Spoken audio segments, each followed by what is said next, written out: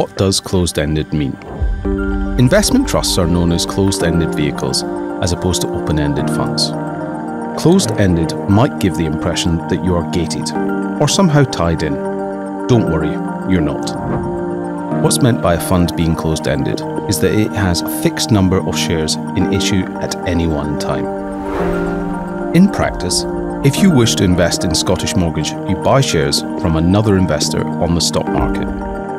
You don't have to physically find a seller, it's far simpler than that. Just like trading any other listed security, your savings platform or corporate broker will match your demand with supply. In contrast, open ended funds expand or contract depending on demand as investors move their money in and out of a fund.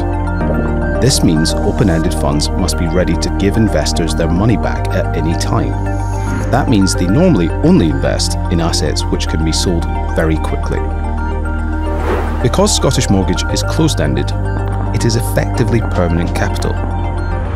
So the underlying portfolio remains intact and is not impacted by the demand of its shares.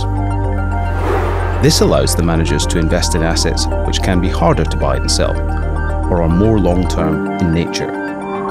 Some investment trusts can make investments in private companies which are less liquid but can also deliver strong returns over the long term. To find out about discounts and premiums, you can watch the next animation. Watch all of our educational films on investment trusts at www.scottishmortgage.com forward slash about us.